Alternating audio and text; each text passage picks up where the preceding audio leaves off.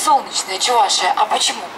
У нас раньше была такая легенда, согласно которой на территории Чувашской республики вообще не было темноты. У нас светило целых три солнца. Пока одно солнце работало, два других отдыхало. И так они меняли друг друга, и тем самым всегда было светло. Но во все времена существовало противостояние сил добра и сил зла. И злые силы хотели, чтобы все поглотила тьма. Пока чуваши работали или отдыхали, солнце светило. В это время черные силы делали свое черное дело. Они разбивали солнце. Начало темнеть, чуваши опомнились, и из двух разбитых солнц успели склеить только одно. На второе не хватило времени. Поэтому днем у нас, как правило, всегда светит солнце.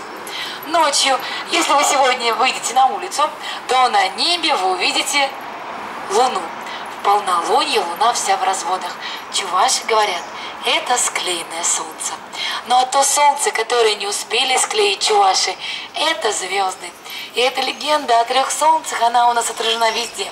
На флаге, на гербе Чувашской республики, на гербе города Чебоксары. Абсолютно везде сияют наши три солнца, солнечные Чуваши. И вот сейчас хочу рассказать вам сказку о Луне. О том, как дед и бабка в чувашской деревушке, не поверите, из колодца Луну доставали. В одной маленькой чувашской деревушке жили-были дед да баба. Жили они мирно и ладно, и все у них было хорошо. Как-то летним теплым вечерком пошла бабулечка к колодцу водицы напиться.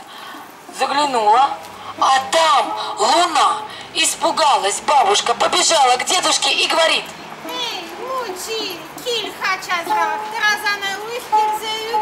Эй, дед, пойдем скорей, там в колодец луна провалилась. Тут дед схватил ухват, и пошли они с бабушкой к колодцу.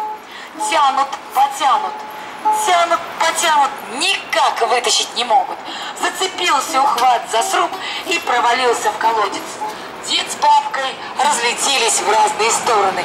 А когда дед стал подниматься с земли, то на небе он увидел луну и с досадой сказал. Эй, тамаша, шага шуду хакеле, шага сучи, шуду булдар дезе, улай мары. Ах ты шельма, говорит дед, я же эту луну дома на стене хотел повесить, чтобы она мне светила. Не получилось, улетела. И вот с тех пор в чувашской деревушке луна для деда с бабкой только на небе и светила. И в колодец она у нас больше никогда не падала. Юмахай, матур всем. Вот и сказочки конец.